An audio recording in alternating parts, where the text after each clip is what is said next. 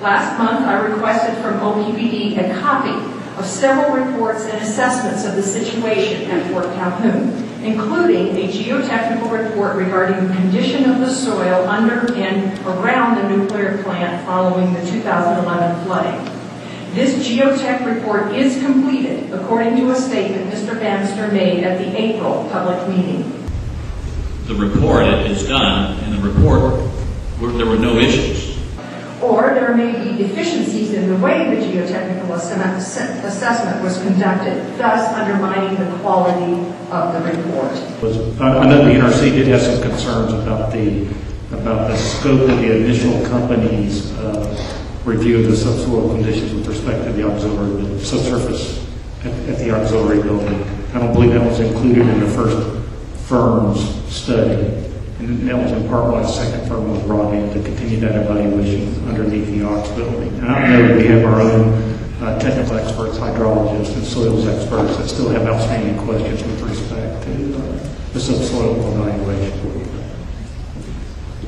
In any event, I'd like to know why OPPD is not living up to its promises of transparency and instead is withholding the completed geotech report as well as the other reports and assessments I requested, and I'd like to know when they will be provided.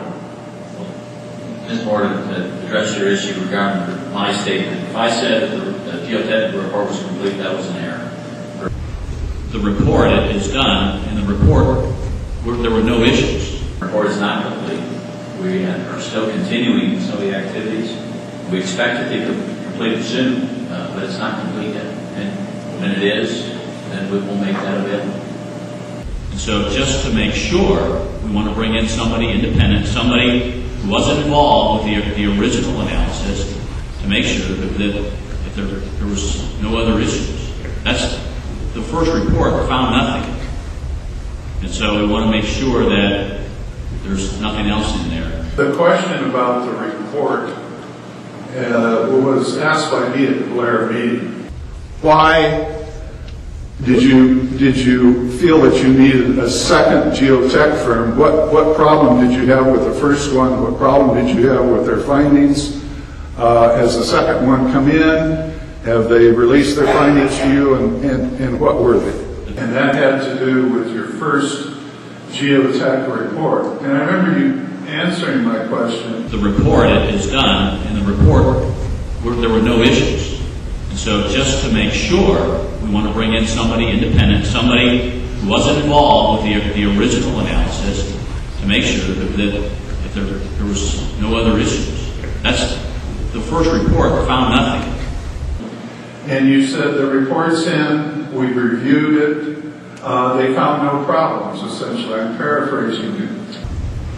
The report is done, and the report, there were no issues. The NRC uh, didn't quite like that first report. I think they felt it wasn't thorough enough. Maybe they didn't have confidence in the uh, other companies. I know the NRC did have some concerns about the about the scope of the initial company's uh, review of the subsoil conditions with respect to the auxiliary, the subsurface at, at the auxiliary building. I don't believe that was included in the first firm's study. And that was in part why the second firm was brought in to continue that evaluation underneath the aux building. So they required you to do a second uh, geotech report. Uh, what I'd like to know uh, from the lady uh, that preceded me is what, what report did you ask for? I think you could have only asked for that first report because that's the only one that uh, we knew about at the time. I see you nodding your head yes. Uh, so what one, uh, what one did you make a mistake on? In the report, there were no issues. Uh, you know, it was very obvious to me that you had the results of the first report. The report is done. You reviewed them, and it showed nothing. In the report, there were no issues. Now you're saying you don't have that? Or is it the second report that All you we don't have is one report. We don't have two reports. We've never submitted it to the regulator. The subsoil evaluation was, I know the NRC did have some concerns about the, about the scope of the initial company's uh, review of the subsoil conditions with respect to the auxiliary, the subsurface at, at the auxiliary building. I don't believe that was included in the first firm's study.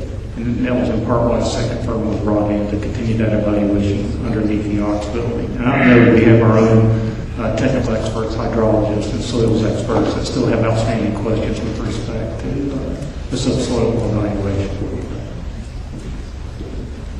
It's the same report that we have. We're certainly talking with the, with the Nuclear Regulatory Commission on what we're, you know, the, the actions that we're taking, the, the testing, the, the examples of the testing of the, the core samples that we've taken. We've certainly had a lot of dialogue. Uh, technical experts, hydrologists, and soils experts that still have outstanding questions with respect to uh, the subsoil evaluation.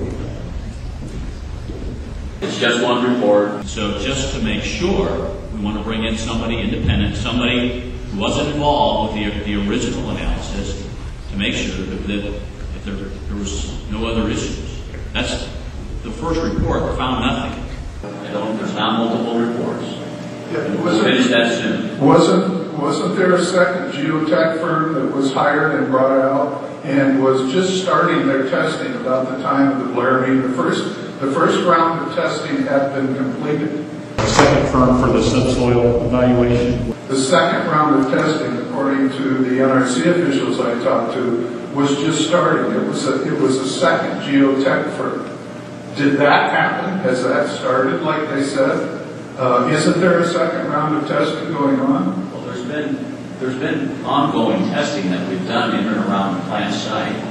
Uh, and truly, it's, it's for us, We're- we want to ensure that there are no issues with the subsoils around the buildings. My question was, was very simple. Was there a second geotech firm that was hired that has either begun testing or finished testing? Is the second firm for the subsoil evaluation is there a second round of testing from a second geotech firm, not the first geotech firm? There's a total of three firms that we're working with.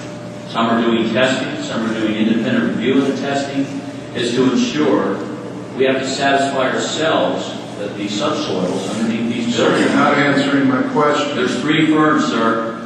There may be three firms. Is there a second round of testing going? I realize you may have another firm reviewing the test results, but you said at the Blair meeting, the first round of testing was complete. The report has been submitted, and the report is good. Then In the report, there were no issues. Then I talked to the NRC people after the meeting, and they're telling me that they are requiring a second geotech firm with more experience in remediation to come in and do a second round of testing. As I understand, the question is, why we brought in an independent? Why did you, did you feel that you needed a second geotech firm? What, what problem did you have with the first one? What problem did you have with their findings? Uh, has the second one come in? Have they released their findings to you, and, and, and what were they? Thank you for the question, Mike, and after that question gets answered, we'll go to Mr. Corbett. Thank you. Uh, The report is done, and the report, there were no issues. And so just to make sure, we want to bring in somebody independent, somebody who wasn't involved with the, the original analysis to make sure that, that if there, there was no other issues. That's, the first report found nothing. So there, isn't there two sets of testing going on? Won't there be two reports? You've got one, isn't there going to be a second one? Just one report.